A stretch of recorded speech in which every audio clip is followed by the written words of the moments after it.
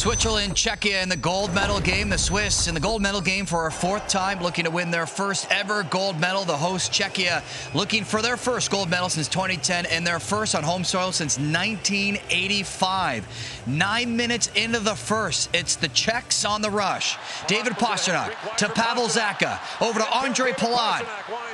But he's robbed by Leonardo Genoni. Genoni made 42 stops in Switzerland's win over Canada in the semis. He keeps it scoreless. Then three minutes left in the first. Christoph Bertschy with a great look for the Swiss.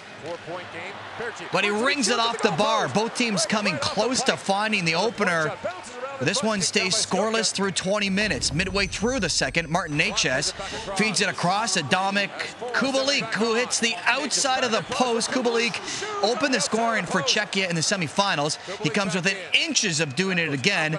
Under a minute to go now in the frame, Pastrnak working behind the net. He centers it. This time, David Kampf hits the post. The Czechs ringing the iron twice in the second. No score through 40 minutes. And then nine minutes into the third, the deadlock would be broken. And it's Pastrnak ripping the one-timer past Genoni, sending Prague into an absolute frenzy.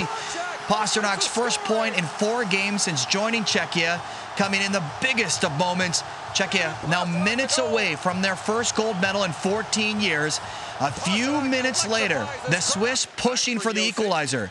Sven Andrighetto with a great chance in tight, but it doesn't go. Lukas Dostal, the huge pad stop, keeping Czechia in the lead. And then under a minute to play, the Swiss with the net empty and the Czechs diving everywhere, pushing the puck up ice to David Kampf, who seals it. Just incredible. The Czechs finishing the job, winning gold in Prague, their first gold on home ice in 39 years.